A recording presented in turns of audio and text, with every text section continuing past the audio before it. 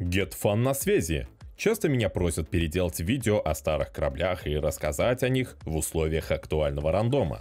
Потому дальше предлагаю вспомнить про исключительно сильный, но недооцененный эсминец Японии Акизуки и про то, как на нем необходимо сражаться в условиях актуального рандома. Ну а если идея с пересмотром вам нравится, то можете поддержать ролик лайком и написать, какой корабль требует срочного пересмотра. Я ж тем временем поблагодарю бустеров, которые поддерживают канал во время выключенной монетизации. Если тоже нравится видео и не хотите, чтобы они пропали, то вступайте в наше морское братство бустеров и получайте ранний доступ к обзорам и розыгрышам. Ссылочки в комментариях. Ну а я тем временем коротко изложу суть. Восьмой уровень ветки Харугума переломный, так как Акизуки не похож ни капли на предшественников и местами даже кажется убог. Ужасная подвижность и исключительная рельсоподобность делает его уязвимым как для артиллерии, так и для торпед, так что уйти в порт на нем при неправильной тактике легче, чем на многих других эсминцах. Но четырехтрубный торпедный аппарат даже с расходником ускоренной перезарядки не дает наварить опасный торпедный супец. Потому сразу становится понятно, что в обычной тактике эсминец показывает себя неудовлетворительно. И все потому, что его сила это артиллерия. 100-миллиметровки с шикарной скорострельностью и повышенным пробоем, под огнем которых любой противник тает быстро. Реализацию этой артиллерии можно глянуть на стриме по подсказке, где случился весьма показательный бой на эту тему. Ну а если вы не перейдете, то коротко отмечу главное. Наша задача как эсминца для высоких результатов это поиск и сохранение возможностей нанесения дамага при помощи дымов, островов, ну и других хитростей. Ветераны канала, скорее всего, скажут, что информация это вода. Возможно, это так. И эта информация была озвучена только лишь для новичков, если они только-только знакомятся с веткой. Ну а для всех остальных я проговорил это только для того, чтобы подчеркнуть важное изменение в билдостроении. Вот подводных лодок стал последней каплей для меня, после чего я решил, что пора отказываться от заточки в охотника за эсминцами на Акизуке и переквалифицировать корабль в сугубо нанесение урона и живучесть, так как в этом направлении эсминец показывает определенно высокую эффективность. Так что берем на старте торпеды, следом скорострельность и дальность стрельбы, потом маскировку, инерционку и живучесть. Только поймите меня правильно, я сейчас не говорю, что борьба за точки и уничтожение эсминцев перестали считаться коньком Акизуки. Нет, и докажу это в сражении дальше. Просто хочется подчеркнуть то, что упарываться в этом направлении сейчас стало заметно сложнее и существенно опасней. Да и рандом после появления подводных лодок нередко дольше идет на сближение. В таких условиях перк на увеличение дальности стрельбы стал куда более актуальным, нежели пелинг или бесстрашный, которого я раньше брал и сам и рекомендовал другим. То есть в современном рандоме считаю, что Акизуки это все та же самая бешеная пилорама, что и раньше, вот только действовать на ней необходимо осторожней, что, надеюсь, будет интересно вам в следующем сражении. Подвижность, ну, такая себе, то есть это такой, знаете, трамвай-эсминец, который э, очень любит э, кушать вражеские торпеды. И для нас, как для игрока, тут главная задача в том, то, чтобы эти самые торпеды попытаться не сожрать. Хотя я, глядя на вражескую команду, понимаю, что сделать это будет отчасти сложно. Смотрите, Бенхам, торпедный супец 44-й, торпедный супец, Кагера, торпедный супец. А, да, так что открытые пространства, откровенно говоря, мне сейчас нравится мало. То есть я бы вот на самом деле э, не стал бы увлекаться сражением за точку D, но, знаете, давайте вот так вот. Это все-таки командная игра. Давайте скажем, команда, нам нужна помощь, будем воевать за точку D. Так, вы... А, эй, вы не убегайте. Покажем. Здоровский универсал. Вообще то, что он тебе выпал, я, я за тебя рад. Корабль хороший тебе попался. Так, смотрите сразу, что меня пугает и негодует. Вы только посмотрите, отсюда уже бегут э, большие корабли, хотя еще никого не успели засветить, но они такие, нет, мы как бы это тут не планируем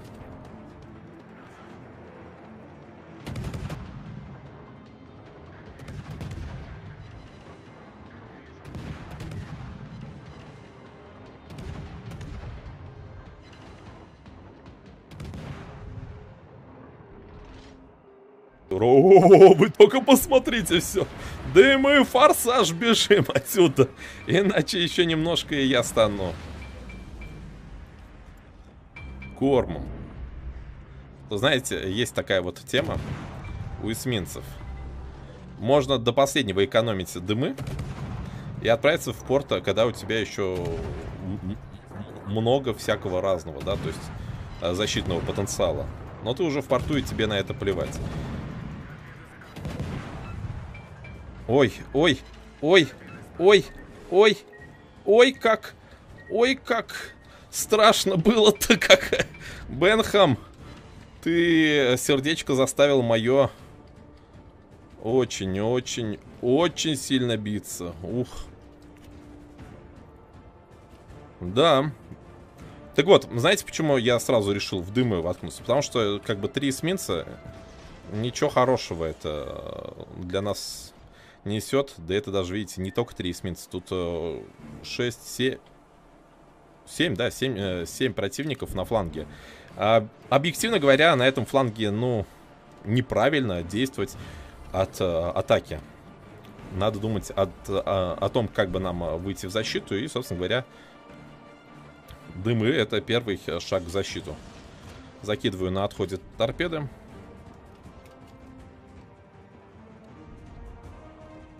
По Руперту не знаю, есть ли смысл стрелять, просто, блин... Ну сколько мы ему залп снесем?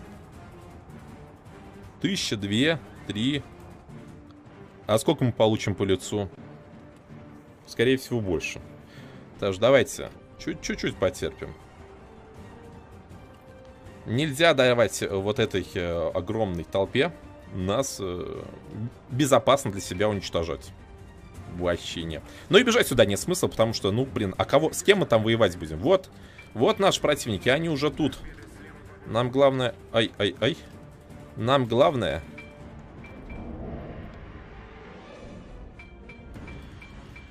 Найти возможность вовремя, так сказать, на контратаку уйти. Смотрите, Бенхэм ушел, уже ушел с нашего фланга. И это неплохо. Кстати, сейчас вот подсвечиваю именно я, да, то есть, принципе, это можно было заметить, то, что урон по разведданным растет, да. Все, смотрите, видите, часть противников ушла, Бенхам ушел. Интересно, где 44-й? А, у меня тут, знаете... Ну ладно, Ригу я, откровенно говоря, боюсь не так сильно. Я практически не боюсь. А можно попытаться рискнуть и навязать какой-нибудь такой э, бой от артиллерии.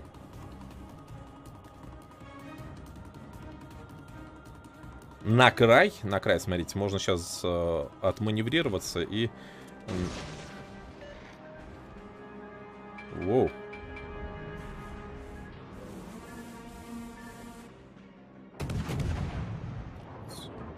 Отманеврироваться и уходить. Но знаете, если наш э, союзник прожал РЛС, я считаю, что надо этим РЛСом давай, э, ну, этим РЛСом пользоваться. И валю Кагера в первую очередь, э, просто потому что, ну, он, он уже был заш... Э, под, ну, подловлен, у него ХП было меньше, да? Все-таки хорошо бы в сражении нам минусовать стволы. Меньше противников, меньше возможностей подловить этот, а, так скажем, этот, э, эту, эту неприятную торпедный впуск. А, с Ригой давайте не будем расслабляться. Не исключено, что у него РЛС готова. Хотя я бы на его месте, наверное, уже прожал. Была бы она готова, оба, наверное, нас бы уже засветил. Все, нет эсминца. Ну чё, Леончик, как у тебя дела? 44-й сейчас, знаете, уже, наверное, понял. Он совсем... Он совсем тут не находится а, в формате охотника. И вот теперь, потеряв а, поддержку Риги, я думаю, он будет думать, как бы отсюда уйти. Ну пусть уходит. Знаете, в чем проблема сейчас вот этого Леона? Он, в принципе, не понимает, что, да, то есть э, мои дымы, они могут работать и на него. Он ведет бой. Ну, видимо, желая нанести как можно больше урона, но при этом он сейчас подставляется под наши залпы. И мы можем еще 30 секунд спокойно стоять и накидывать. А план у нас, кстати, такой. Сейчас э, заканчиваются дымы, и я иду на захват точки. Ну, слушайте. 44 конечно, дерзкий. Конечно, дерзкий 44-й. Я вам скажу прямо хо-хо. Но ничего, ничего. С ним, кстати, будет а, воевать попроще, чем Кагера. Кстати, еще момент, почему Кагера стоило быстрее уничтожить. Потому что у Кагера есть перед нами преимущество в незаметности. У 44-го такого сильного преимущества нету. А, поэтому диктовать какие-то, ну, знаете, такие вот дуэльные истории нам будет сейчас с ним проще. Так что идем на точку и ждем. Что да, когда, почему. Леон пока что горит, мне этого, мне этого достаточно. А, бой куда будем вести? Блин, не знаю. Давайте... Не, наверное, на левый фланг не будем. Давайте на правый фланг, если что. Если кого засветим, а, буду отворачивать направо. Почему так? Потому что, скорее всего, торпеды в славу Азуму будут закинуты. Есть риск того, что случайно мы можем поймать совсем э, идущие не в нас торпеды. Мне такое не устраивает.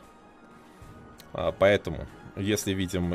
А, вон 44 тут, все, все стало совсем Легко, просто понятно.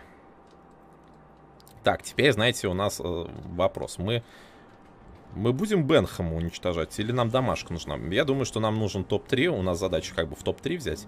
А, да, и э, наибольшее количество опыта у нас вот тут вот будет. Да еще и Бенхэм тут как бы забыл в какой-то момент про нас. А 44-й Наверное, жалеет, что решил воевать не с нами.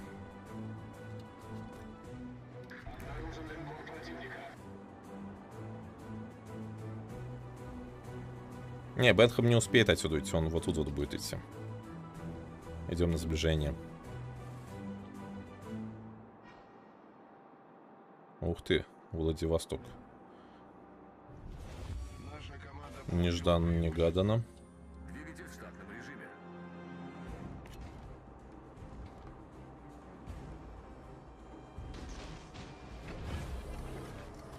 Торпед туда.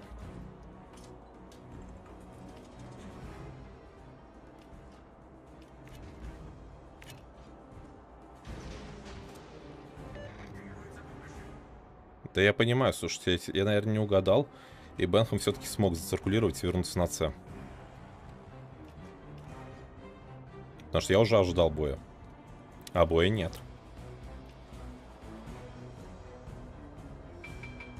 Ну ладно, смотрите, тогда идем на С, перезахватывает тоже фарм опыта.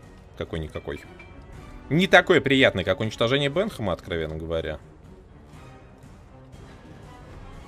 Но, тем не менее. Да вообще бой, знаете, какой-то... Так, ты где там? Ты где? Наш сладкий пупс. В дымы прыгаешь.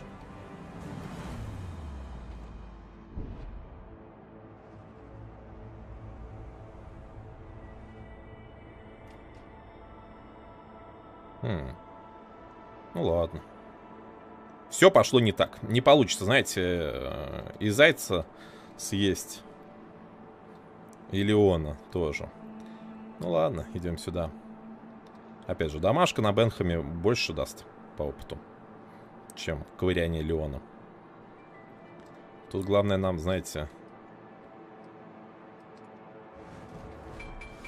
Торпед не съесть.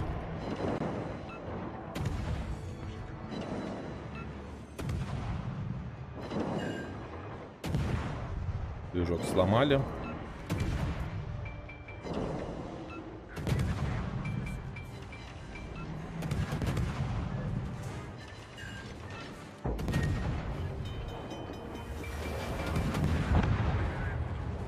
Чуть-чуть, знаете, раньше надо было тормозить, тогда и точку бы не, не ой, и торпедку бы не съел. Увлекся. Но, знаете, дуэль со эсминцем торпедным на короткой дистанции это всегда риск.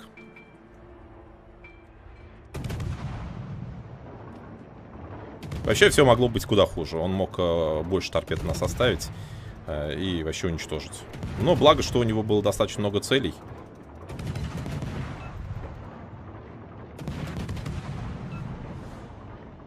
Для действий. И, скорее всего, часть торпед была просто отправлена в вами.